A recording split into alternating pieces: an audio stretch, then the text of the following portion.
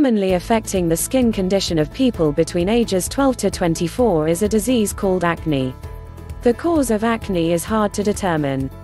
However, over-secretion of the sebaceous glands is pointed as the cause to trigger most acne outbreaks.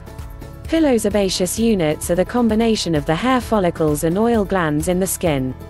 Except for the surface of the palms and the soles of the feet, pilosebaceous units are found on the skin tissue throughout the body.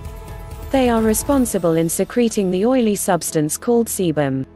However, due to many factors, e.g. hormonal imbalances, stress and the skin's natural condition, the oil glands may be induced to produce more sebum than normal. When this happens, the excess oil plugs the skin pores. This process brings about bacterial infection and stimulate the reaction of the immune system. In the end, acne inflammation results. Acne can strike at any skin type. An oily skin type is most susceptible to acne. Dry skin on the other hand, may not be as susceptible but serious outbreaks may occur during winter. Normal skin is equally susceptible to acne but the level of severity may not be as high. Presently, acne is not yet totally curable but can be remedied with several acne skin care methods. Many seek the help of topical medications, which are applied on the surface of the skin. However, employing the use of acne skincare products like pore strip pads may remove whiteheads and blackheads but they would not have any effect on the excess sebum produced. Nevertheless, for remedy and prevention, it is best to employ the following 8 simple tips. 1. A healthy, well-balanced diet must be observed. Therefore, your food intake must incorporate all the essential nutrients the body needs for efficient functioning.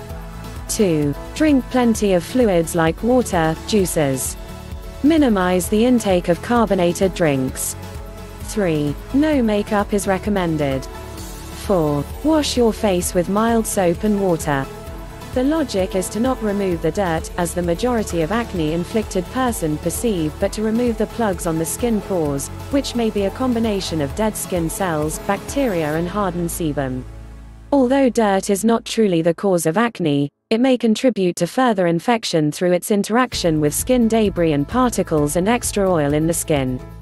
5. Use topical cleansing pads that may contain one or the combination of the following salicylic acid, sulfur, and benzoyl peroxide to remove excess oil. Another way to minimize the presence of extra oil in the skin is to wash the face with the hottest water you can withstand. 6. Minimize the use of harsh cleansers and use acne skin care items that exfoliate mildly. Do not scrub vigorously to the affected areas. 7. If your hands are dirty, refrain from touching your face. 8. If you have long hair, tie up your hair so that it is kept away from the face. This is especially so if the weather is hot and you have been perspiring. Preventative acne skin care steps are just as important as the treatment of acne itself. With prevention, at least, you know how to ensure that your acne problem does not escalate and spread to a bigger infected area.